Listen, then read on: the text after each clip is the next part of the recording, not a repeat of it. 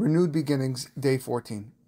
The Gemara tells us that a person should always ask for mercy, that he doesn't get sick. Because if he does, we tell him, now you have to bring a merit to be exempt from this sickness. In other words, it's not easy to merit the refuah once you have the sickness.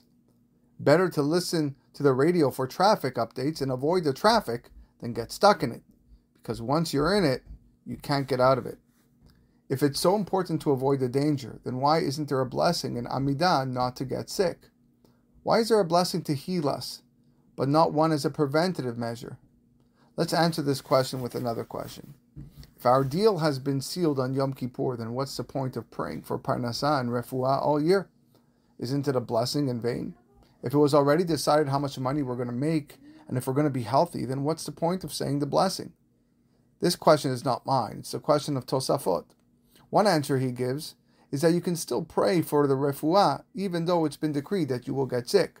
You can still pray for parnasah even though it was decreed you will lose money.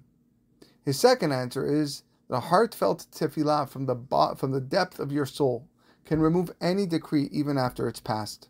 Not just sickness, but parnasah problems, shalom bayit problems, children problems, and of course, life problems.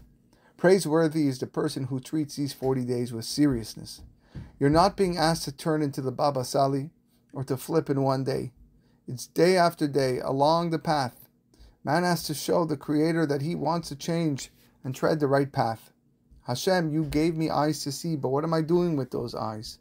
Am I reading Sefarim? Am I reading Torah? Or am I reading magazines and watching movies I shouldn't watch? You gave me ears to hear. Am I listening to the Shiurim the rabbi's derasha, or am I listening to Lashon Hara and jokes? Think about it and answer honestly, and I'll meet you tomorrow.